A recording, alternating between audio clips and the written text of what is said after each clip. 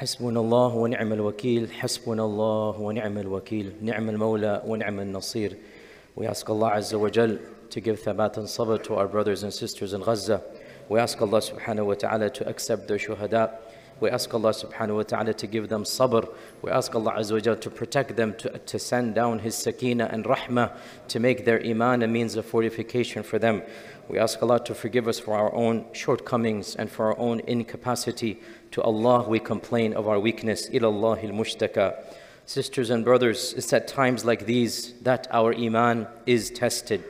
It's at times like these that our iman is tested. These trials, these tribulations, one of the main wisdoms behind them is that through these trials, Iman is manifested. Faith in Allah subhanahu wa ta'ala is demonstrated. It is only Iman that can give us hope during times of darkness. It is only Iman that can possibly make us optimistic when we feel that there is no help on this world. Then our Iman will remind us we don't need help of this world when Allah Azza wa is our Mawla. Allah is our Mawla. We don't need anyone else's help. In yansurkum الله فلا غالب لكم. It is only Iman that will help us overcome these types of tragedies. Allah Azza wa Jalla reminds us in the Quran, أم حسبتم أن تدخلوا الجنة Did you think you will enter Jannah for free? Do you think Jannah is there for the taking? Allah subhanahu wa ta'ala says, وَلَمَّا يَأْتِكُم مَثَلُ الَّذِينَ خَلَوْا مِن قَبْلِكُم You have yet to really recognize and see the examples of those before you. You haven't been tested the way they have been tested. مَسَّتْهُمُ الْبَأْسَاءُ وَالضَّرَّاءُ Every type of trial came down upon them.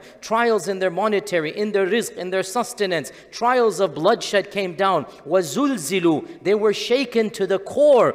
حَتَّى يَقُولَ الرَّسُولُ وَالَّذِينَ آمَنُوا مَعُ مَتَى نَصْرُ اللَّهِ Until even their prophets and the believers, they're going, they were asking, where is the help of Allah subhanahu wa ta'ala? And then Allah reminds us, Ala inna نَصْرَ اللَّهِ قَرِيبٌ This ayah was revealed when the Muslims were being persecuted to death. This ayah was revealed when they would see Bilal being dragged in the streets of Mecca when multiple Sahaba including the one I have been named after Yasir and his wife Sumayya they were literally shred to bits. And the Muslims were saying where is the help of Allah and Allah subhanahu wa ta'ala revealed, Did you think Jannah is cheap? Jannah is free? You have yet to be tested like the people before you were tested. And so Allah Azza wa Jal tested them. And Allah Azza wa Jal, through their tests and trials and tribulations, showed us what happens when you put your trust in Allah. What happens at the end of tests and trials. Nasr only comes after sabr. Allah's help only comes after sabr. And when you have sabr and when you have tawakkul, then and only then will Allah's nasr come unto you. And our Prophet wasallam reminded us that we must always think good thoughts of Allah subhanahu wa ta'ala, no matter what the situation. It is our iman that gives us hope. For those that have gone on, for those that have lost their lives, we have to console ourselves that indeed what they have with Allah is infinitely better than what they had over here. They have been released from the prisons of the dunya, they have been released from the starvations of the dunya, and they are not dead. Balhum ahya'un inda yurzaqun. We have yaqeen in Allah that all thousand plus people who passed away in the last few days and all of the shuhada of all of these decades, we have have yaqeen, certain yaqeen, they are not dead. Their lives now are more real than our lives. And their enjoyment and their ni'mah that they are in is infinitely better than anything we can imagine. And so for those that have gone on, we make dua for them and we know they're in a better place. And for those who are remaining, we make dua that Allah gives them sabr. And for those who are perpetrating the dhulm, for those that are doing these deeds, I just recited the verses, وَلَا تَحْسَبَنَّ اللَّهَ غَافِلًا عَمَّا يَعْمَلُ الظَّالِمُونَ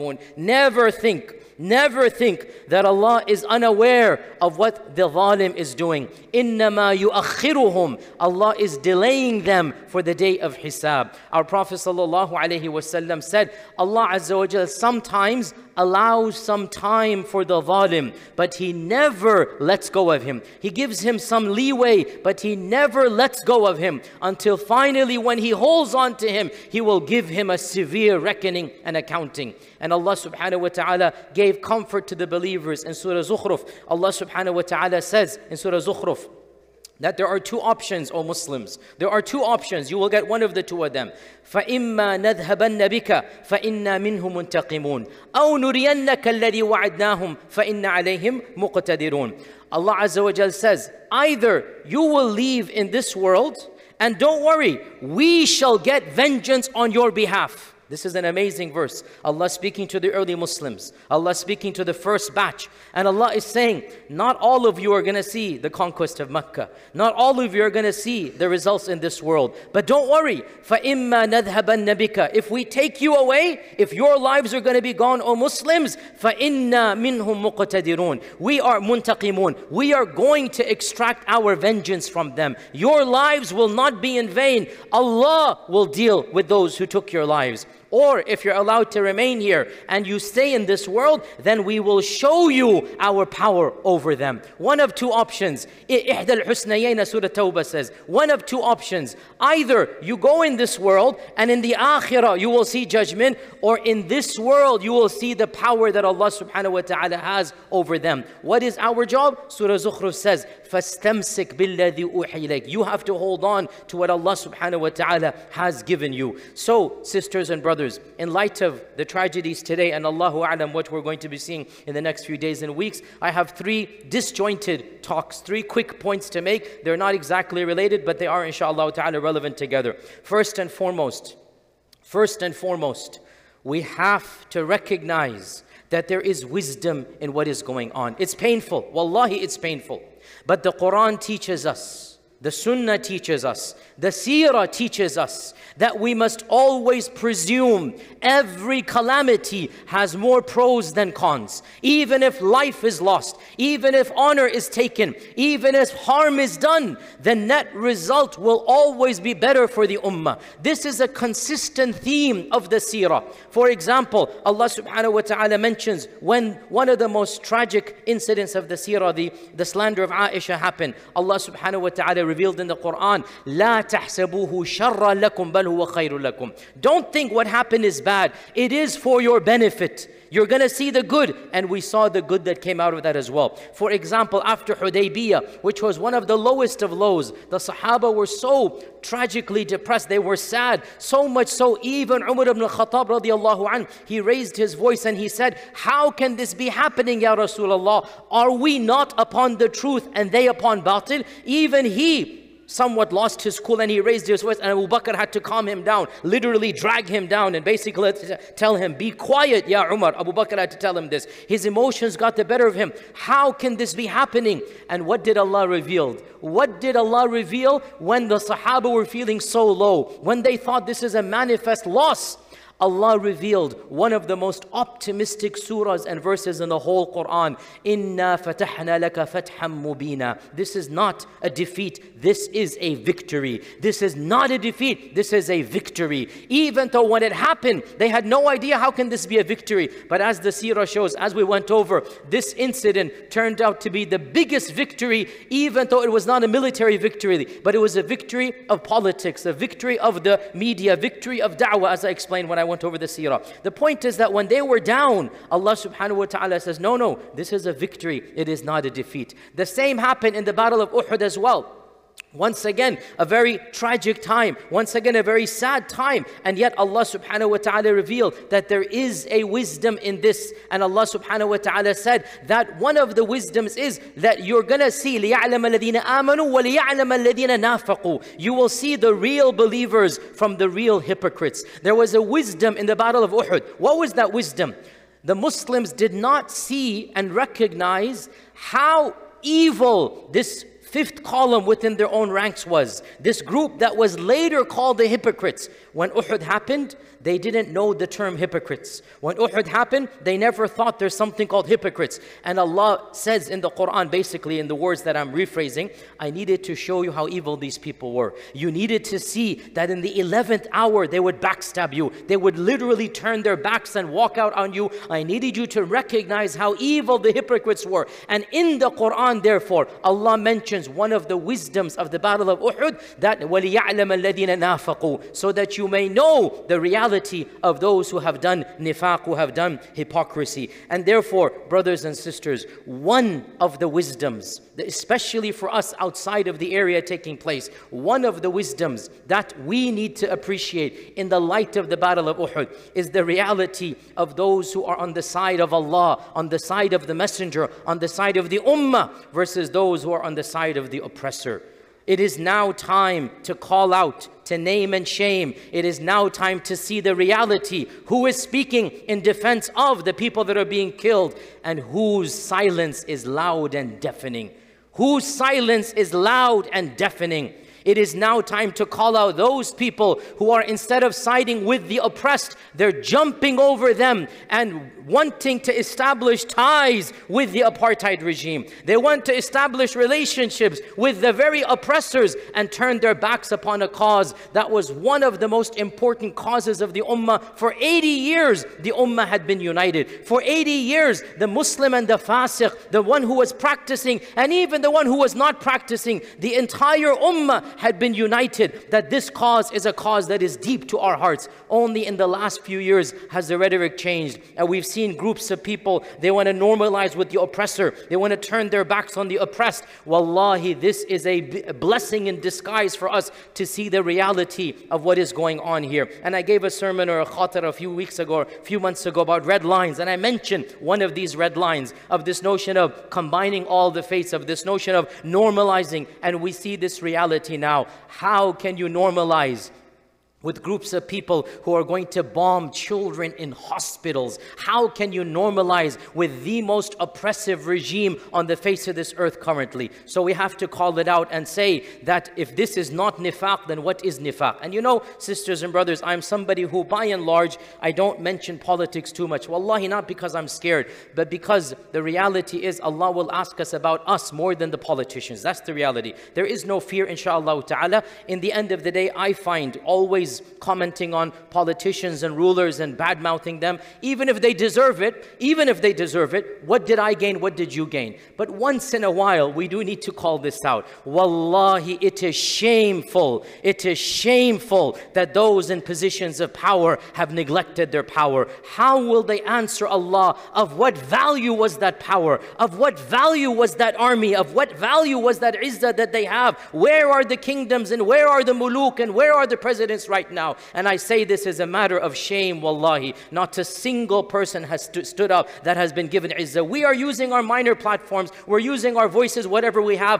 How about those that have been given a much more powerful voice? How about those that have an actual, an actual piece on the table of politics? How can at this stage you ignore what is going on? But we see the reality of such people, and so we pay heed, just like the Sahaba understood in the Battle of Uhud, the reality of the group of munafiqun, so too we call out such people and say, if now your politics and if now your positions are not going to be handy, then why do we need you? Of what value are you? Actually, your presence is more harmful to us than your absence. And I especially call on those Muslims who have been elected to positions of power in Western lands. We all said there's some benefit in Muslims being there. And inshallah, there's some benefit for those who do something. But if you are absolutely silent, if you are doing absolutely nothing. And I want to be clear here. I understand elected politicians cannot speak like I'm speaking right now. Wallahi, I understand. But something, something has to be done. Show your conscience.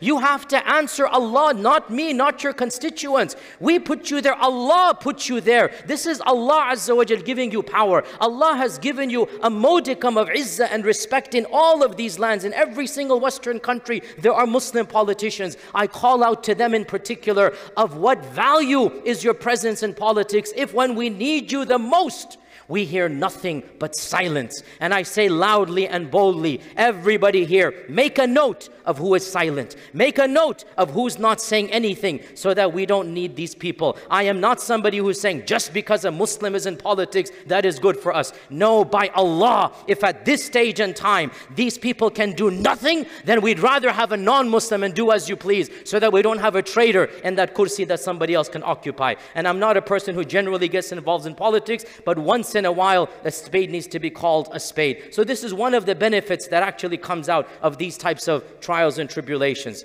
A second reality, and again, these are awkward realities, but wallahi, you know, I was debating even to say this or not. I recognize emotions are high. I recognize sometimes things are said. Allah, Allah protect all of us. I'm going to make some comments in the second point. If you disagree with me, no problem. Let's have a back and forth. But I feel very strongly about this, very strongly about this. Right now, right now especially, when un un, like it is crystal clear who the oppressor is and who the oppressed is. This is like night and day, black and white. At this stage of the game, if there are people out there that are calling for disunity, if there are people out there that are actually pointing fingers at the oppressed right now and blaming the oppressed in any way, fashion, or form, then I'm sorry, but you have lost the plot completely. Now, what am I referring to here? This is an awkward topic. Just bear with me a little bit. As you know, this is my masjid. I know my, my, my videos go viral, but you are my masjid. You know me. And you know me. I've been here four and a half, five years. I'm always calling for Muslim unity as much as possible. You know this. And I've never once, you know, badmouthed a group or a name or a scholar. I'm not going to do it today as well. It's not my methodology. I look at the good in every trend, in every madhab, in every maslak. But there are certain ideas that are harmful. There are certain ideas that are harmful to the ummah. And at times like this, that harm is manifested.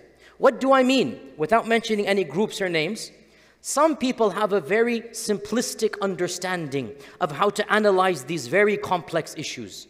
And they will say, for example, the problem is that we don't have a khilafah, that's why this is happening. Or they will say, the problem is that these Palestinian ulama are not preaching tawheed, that's why they're being punished. Or they will say, this group is full of bid'ah and fisq, and that's why this is happening. Now, this type of rhetoric at this stage, even if it comes from good intention, wallahi, you are harming the ummah. You are harming the ummah. Now I understand that some people find comfort in simplistic analysis because it's very complicated. And to just jump on a very easy solution. The problem is those ulama follow a different understanding of Islam. The problem is that we these people are not calling for a khilafah. The problem is these people are not preaching my version of tawheed. I understand some people's minds like to find comfort in really simplistic notions. And so it's a really complicated world. So they come across the simple slogan and they say, yes, if they only call for tawheed, then this would not be happening. But I have to say, sisters and brothers who follow any of these interpretations, I'm trying to be gentle here, for the love of Allah, Ask your fitrah. Ask your common sense that Allah has given you. You're going to blame those people because they follow a different understanding of Islam. You're going to blame bombs being falling on them because you think that they're not establishing a khilafah. And because of this, the priority now is to ignore them but to think of a khilafah. And I speak from experience here. Last time this happened, I was raising funds for Gaza. Last time this happened. And one famous person, I'm not going to mention names here, he literally opposed the raising of funds for Gaza. And he said, This is a waste of time. Until you guys establish the Khilafah, this is a joke.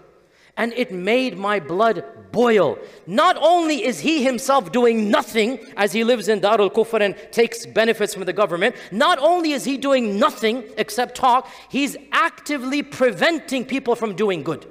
Another famous sheikh, again, no names mentioned, I'm not going to mention names here. Another famous sheikh, again, these are well known people. They, they, this person said, The problem is they haven't understood Tawheed. And if they understood Tawheed, this is the solution. And again, I'm trying to be not too harsh here. But la hawla la quwwata illa billah. A generation whose women are willing to sacrifice their children for Allah subhanahu wa ta'ala. A generation who 80 years has been giving their blood for the sake of the kalima. An entire shab whose yaqeen in Allah has not been shaken after all that has happened, and you dare come and you say, they don't understand Tawheed, I am sorry, but la hawla wa la quwwata illa billah. They have manifested Iman and Tawheed a million times better than all of you in your Kitab al-Tawheeds. I'm sorry to be blunt here, but that is a reality. This is a disease and a problem where you're going to blame a population that is being bombed because they follow a different understanding of Islam. Please, sisters and brothers, I don't want to be too harsh here, but open your minds. I was a bit harsh, I know, but open your minds. Open your minds. The problem is not in a very simplistic understanding that they have this. They know the problem is the occupier. The problem is the bombs. The problem is clear. So if you at this stage of the game are actually blaming internal Muslims, if you are problematizing your Muslim brother and sister at this stage, then I'm sorry, even if your niyyah might be good, You are falling prey to exactly what the munafiqun did in the battle of Uhud.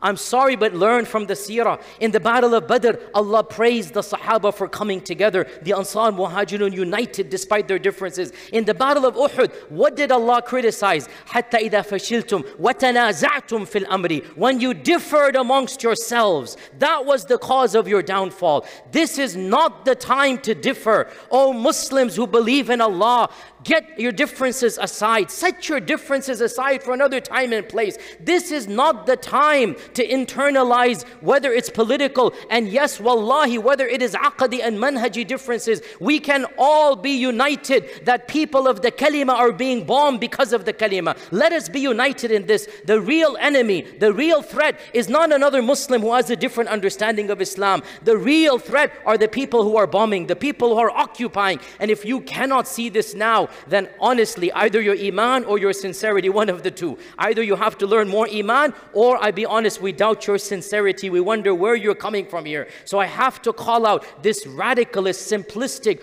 uber fundamentalist trends of Islam. They want to analyze this complex and they say, and they literally say, oh, the Palestinians or whoever they might be, you know, their aqidah is wrong, or they have bid'ah, or their teachers are like this, or their fisq and fujur is happening there. La hawla. So Allah is going to bomb children because they have minor fisq and fujur. Wallahi, what an understanding these people have. And I'm sorry, you're wrong intellectually, you're wrong emotionally, you're wrong logistically. So I have to call out these simplistic understandings and say, please, for the sake of Allah, study more deeply. Come together. And I say, even, even if you're passionate about the khilafah or your version of tawheed, okay, preach it or call for it, but still help other causes as well. You don't have to problematize other Muslims who disagree with your particular methodology, because this is the problem.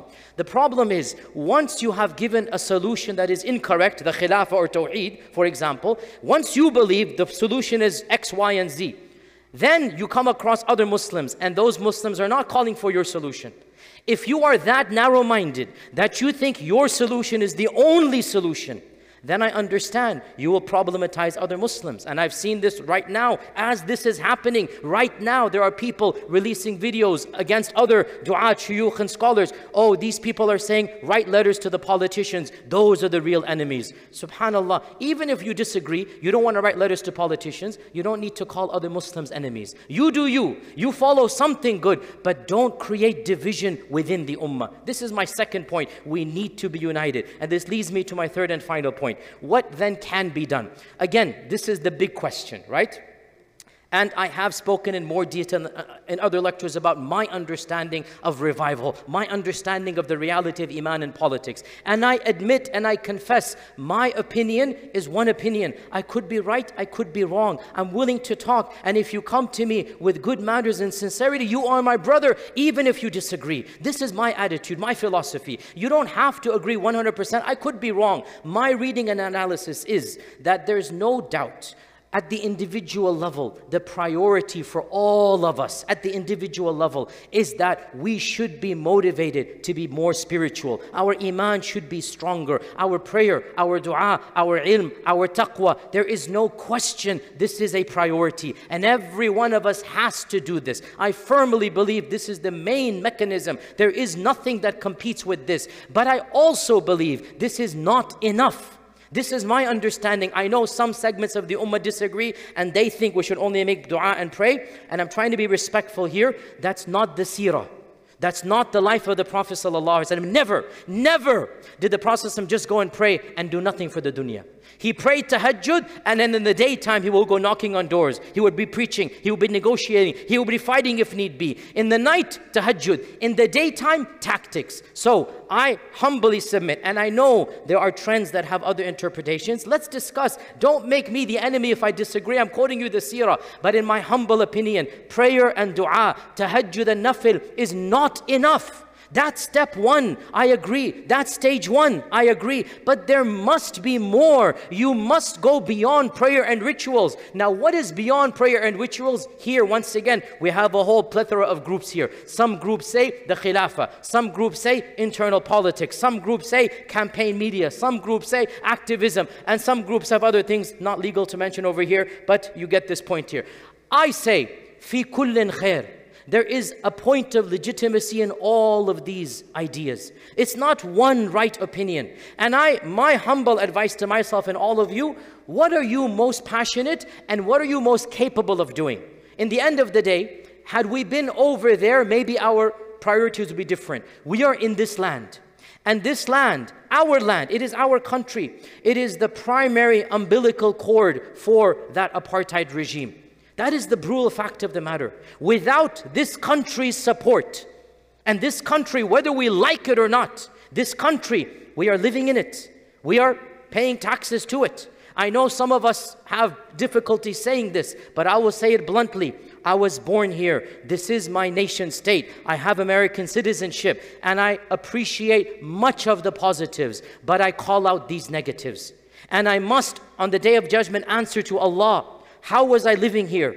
And I will answer Allah Azza wa Jalla, and I hope Allah forgives me by saying, I tried my best to speak out and say, not in my name. I tried my best to preach and teach. I tried my best to influence people in, in politics, in the media, amongst our society. I want change to come from within. Wallahi, I want good for this country. I don't want evil for it. And a part of that good, I don't want my country to be supporting an apartheid regime. And if all of us came together, millions of us came together, and we educated and we influenced other Americans and we saw and we and, and we started an actual campaign. No more support to this apartheid regime. We don't want our tax dollars going there. I really believe the tide is changing. Look at the, the next generation, especially, the younger generation, especially. They are much more aware, they're much more open minded. It is my humble contention the reason why we're seeing such ferocity in the media, the reason why we're seeing such a stark st contrast is because they are desperate. They know they've lost the battle for the next generation. Even today, right after the bombing, they praised it. When they saw the reaction, they backtracked. Look, why did they backtrack? Because they saw the reaction. This is a reality. Even those regimes that are normalizing ties, they have to do some token effects because of public opinion. Do not underestimate public opinion. Do not underestimate the power of our own voices. So my humble ask to myself and all of you, what are you the most capable of doing? What are you passionate about? What are your resources? Whether it's in the media, whether it's in campaigning, whether it is in politics, whether it is in activism, from my perspective, fi kullin khair. There's good in all of them, but you have to do something. You cannot just sit back and ignore. And the, the, the, the, the, the road ahead is very long. It's not going to be short here. But I tell you, as somebody who studies history, never before, never before have the Palestinian voices and the Palestinian side been given the amount of attention it has been given. Never. Yes, relatively it's small. It's not equal 50-50. Right now it's maybe 20-80 or 30-70. Right now it's definitely not 50-50. But this is leaps and bounds ahead of even 10 years ago. For the very first time, Palestinians and Arabs are being put on mainstream media, even if partially, even if they're being interrogated. For the very first time, look at the comments underneath. Look at the reality of social media and especially the youth and the second generation. We find a mass movement of genuine sympathy amongst people outside of our faith and even amongst many Israelis and many Jewish people of the next generation. There are protests by Jewish people against Zionism. Again, this is new. It didn't happen before. In the White House today in, in, in Washington, D.C., a Jewish group lobbied and they said, we don't want this to have our money to be, to be spent over there. We don't want more lives to be lost. This is the first time it is happening. And so my third and final point is very simple. I don't have a one path solution. I don't believe there's a one path solution. I actually believe diversity is healthy. I'm not like the people in, in, in, the second point that I mentioned only one way, my way or the highway. No, I actually believe if some people want to do one thing, another people want to do another thing, there's actually good in this. Our hearts should be united. The goal is one. The goal is one, and that is the humane treatment of over 2 million people that are living there. And as I said in the khutbah, you don't even need to necessarily bring in Islam when you talk to your neighbors and relatives. You can bring in the humanitarian. But of course, if we're talking to Muslims, we'll bring in Islam. But the bottom line, sisters and brothers, we should not not be discouraged. We should not be disheartened. Yes, wallahi, it is painful. As the Prophet ﷺ said, the heart is sad, the eyes cry, but the tongue will only say what Allah is pleased with. Insha'Allah ta'ala, the future is bright. Insha'Allah ta'ala, as Allah says in the Quran, don't think it is overall negative. It shall be positive. So every one of us, be motivated, be inspired, learn, study, read, listen to lectures, and then ask yourself, how can I contribute? Speak to others as well. Organize, lobby, protest. At every single level, things are happening.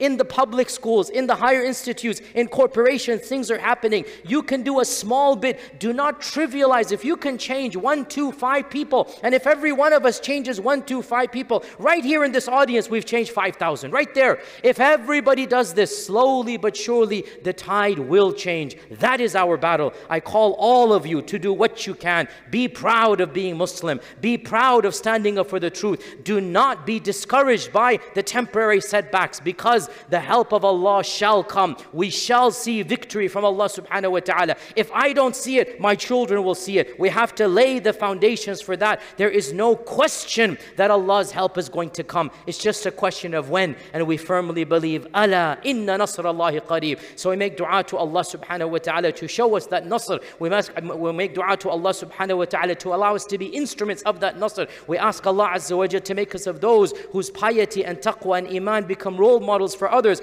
We ask Allah to give us the courage to speak the truth, to act the truth, to call to the truth. We seek refuge in Allah from the cowardice of hypocrisy. We seek refuge in Allah from hiding our iman in these times. We seek refuge in Allah from shunning away and running away from our intellectual battles. And we ask Allah for wisdom. We ask Allah for tact. We ask Allah for victory. And indeed, حسبنا الله ونعم الوكيل هو المولى ومنه النصير. وجزاكم الله خيرا. والسلام عليكم ورحمة الله وبركاته. إن المسلمين والمسلمات والمؤمنين والمؤمنات والقانتين والقانتات والصادقين والصادقات والصابرين والصابرات والخاشعين والخاشعات والخاشعين والخاشعات والمتصدقين والمتصدقات والصائمين والصائمات والحافظين فروجهم والحافظات والذاكرين الله كثيرا والذاكرات أعد الله لهم مغفرة وأجرا عظيما.